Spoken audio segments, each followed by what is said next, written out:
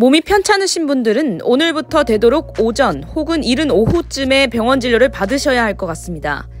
오늘부터 의사와 간호조무사 등 보건의료단체가 부분 파업을 진행하기 때문입니다. 간호법 제정에 반대하는 의료연대 측은 재검토되지 않으면 17일 총 파업에 들어갈 것이라고 예고하기도 했습니다.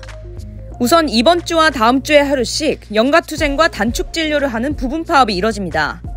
다만 이번 부분 파업은 말 그대로 전체 의료진이 진료에서 손을 떼는 건 아닙니다.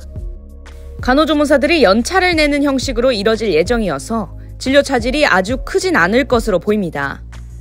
의사들의 부분 파업 참여도 적극 독려한다는 계획이지만 아예 문을 닫는 병원은 많지 않을 전망입니다.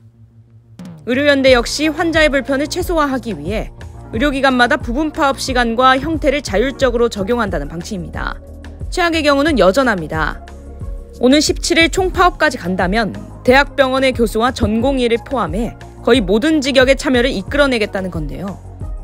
일단 정부는 조규용 보건복지부 장관 주재로 긴급상황점검 회의를 열고 연갑투쟁과 휴진자제를 당부하고 있습니다.